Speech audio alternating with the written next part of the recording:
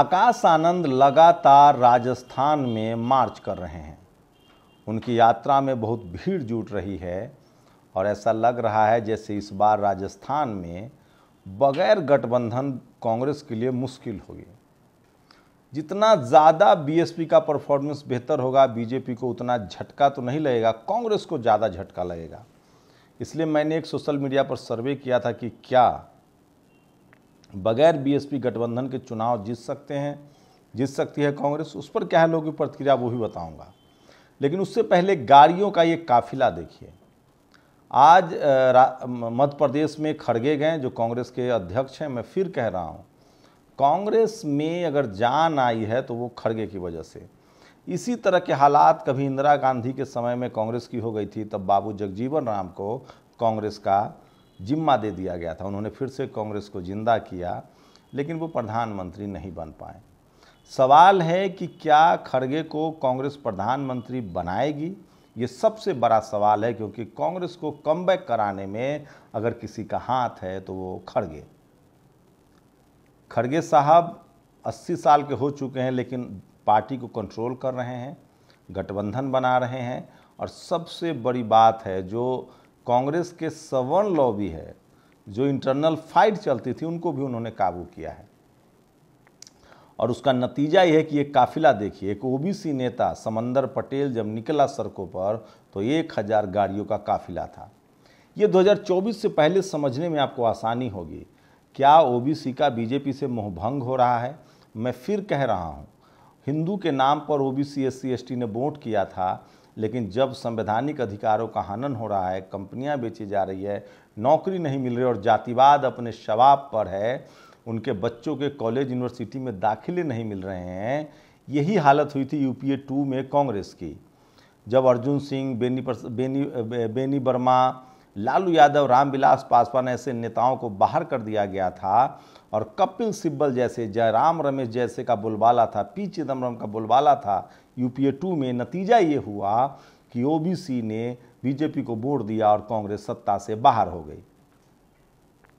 फिर से बीजेपी ने ओबीसी, पहली बार तो विकास के नाम पर, दूसरी बार धर्म रक्षा के नाम पर वोट दिया। अब तीसरी बार सवाल है कि क्या सवर्णों के तुष्टिकरण से ओबीसी उब गया है? एससी तो वोट नहीं देने जा रहा है। शेड्यूल ट्राइब भी बहुत नाराज़ है। मुस्लिम्स वोट नहीं कर रहे हैं। रहा बात, रही बात ओबीसी की अगर ओबीसी का 50 परसेंट वोटर भी हटा, जो होता हुआ दिख रहा है, क्योंकि नीतीश कुमार हों या अखिलेश यादव हों या लालू यादव हो, ये सब बड़े ओबीसी चेहरे हैं। स्टालिन के प्रति ओबीसी का भरोसा बढ़ा है और वो सब लोग इंडिया गठबंधन में। लेकिन बड़ा सवाल है कि क्या खड़गे को कांग्रेस प्रधानमंत्री बनाएगी? आप लोग बताइए। तो सबसे बड़ा वही है। सोचिए, आकाश आनंद की रैली में भीड़ जुट रही है, बिना गठबंधन तो कुछ नहीं होगा। वहीं आज एक अखबार दैनिक जागरण है। सबसे बड़ा झूठा अखबार कहा जाता है। दैनिक जागरण ने खबर छाप दी सुबह सुबह सर्जिकल स्ट्राइक की। मैं फिर कह रहा हूँ, इस देश में जो टीवी अखबार है, जो बहुजन राजनीति फेल है S C S T O B C का सबसे बड़ा कोई दुश्मन उनके राजनीतिक अधिकारों का, सामाजिक अधिकारों का, आर्थिक अधिकारों का अगर कोई दुश्मन है तो वो टीवी और अखबार है। बिल्कुल मत देखिए, लोग झूठ ही नहीं फैलाते हैं। सोचिए, भारत की सेना का पूरी दुनिया में सम्मान है। भारत की जो शांति सेना होती है, उसको पूरी दुनिया में जब कहीं किसी भी तरह के माहौल ख़राब होता है तो सबसे पहली प्रायोरिटी होती है कि भारत के शांति सेना को वहाँ काम करने का मौका मिले। वो लोग बुलाते हैं क्योंकि सबसे ज़्यादा भरोसेमंद, सबसे ज़्यादा ह्यूमन डिग्निटी को मेंटेन करने वाली सेना भारत की सेना है। लेकिन टीवी अखबार में बैठे लोगों को सोचिए कि भारतीय सेना को भी बदनाम किया जा रहा है। झूठ मूठ की खबर कही गई कि पाकिस्तान पर सर्जिकल स्ट्राइक हुआ है।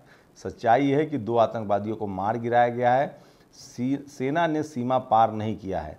इस तरह की झूठी खबरों से भारत की सेना के शान में बट्टा लगता है। लेकिन ये अखबार वाले क्या जाने?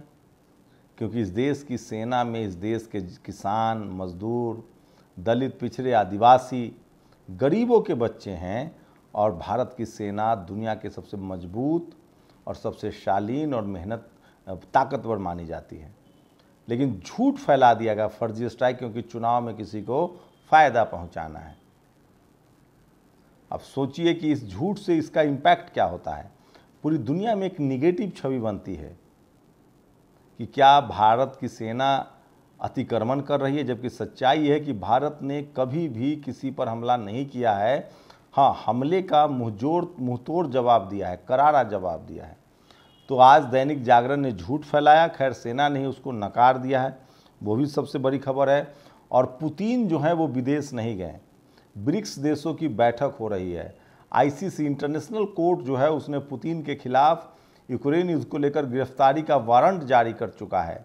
नतीजा ये है कि अगर साउथ अफ्रीका जो है, जहाँ ब्रिक्स देशों की बैठक हो रही है, इसमें ब्राज़ील, चाइना, भारत और रूस है और साउथ अफ्रीका है, अगर पुतिन वहाँ जाते तो उनकी गिरफ्तारी हो जाती क्योंकि आईसीसी के तहत साउथ अफ्रीका भी आता है। तो ये भी खबर है सबसे, लेकिन उससे भी सबसे भयानक खबर, सोचिए। मैं आज एशिया कप के लिए कि टीम इंडिया के स्क्वाड देख रहा था तो मुझे बहुत हैरानी हुई। जो दामाद हैं, किन के? जो दामाद हैं हीरो हैं वो, सुनील शेट्टी।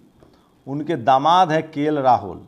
उनका चयन तो हो गया है, लेकिन टीम एशिया टीम इंडिया में, सोचिए, टीम इंडिया में जो एशिया के लिए एशिया कप के लिए जो टीम इंडिया की जो घोषणा हुई है, आपको जानकर ताज्जुब होगा कि केल राहुल को बुला लिया गया है, लेकिन उस टीम में मैं नाम पढ़ के सुनाता हूँ। सत्रह मेंबर की जो टीम है उसमें रिंकू सिंह नहीं है। रोहित शर्मा, आप सब जानते होंगे इनको। शुभमन गिल, विराट कोहली सुरेश अय्यर, के राहुल। सूर्यकांत यादव, तिलक वर्मा, ईशान किशन, हार्दिक पांड्या रविंद्र जडेजा, अक्षर पटेल, सरदुल ठाकुर, जसप्रीत बुमराह, मोहम्मद शमी, मोहम्मद सिराज, कुलदीप यादव, प्रसिद्ध कृष्णा एंड संजू सैमसन हैं, लेकिन रिंकू सिंह नहीं हैं। डेब्यू मैच में, आईपीएल का तो छोड़ दीजिए, आयरलैंड के खिलाफ डेब्यू मैच में भी रिंकू सिंह ने शानदार परफॉर्म किया। मैं फिर कह रहा हूँ, अगर आप इस देश में किसान कम्युनिटी से हैं S C S T O B C हैं तो आपको दुगनी नहीं, तिगुनी मेहनत करनी पड़ेगी। हो सकता है आपको गुमनामी में धकेल दिया जाए, जैसे विनोद कामली के साथ हुआ। सोचिए सूर्य कुमार यादव को 10 साल जो उनका टॉप का पिक आवर था कैरियर का, जो 20 साल से लेकर 30 साल की उम्र होती है, वो सबसे पिक आवर होता है, उसमें उनको बाहर रखा गया और 30 साल की उम्र में भी वो शानदार प्रदर्शन कर रहे हैं। रिंकू सिंह के साथ भी कहीं ऐसा तो नहीं हो रहा है। केएल राहुल, जिनकी फिटनेस को लेकर सवाल उठते रहे हैं, लेकिन उनको टीम में है। ये सब वो चीज़ें हैं जिस पर आप डिस्कस नहीं कर सकते क्योंकि आपके पास ना टीवी है, ना अखबार है।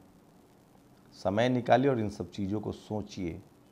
तब आपको पता चलेगा कि भारत में अब जातिवाद जो है, वो गाँव में नहीं है पावर सेंटर्स में है। स्पोर्ट्स में है मीडिया में है जुडिशियरी में है ब्यूरोक्रेसी में कॉलेज यूनिवर्सिटी में है। जहाँ पैसा है पावर है पॉलिटिक्स है, वही जातिवाद है।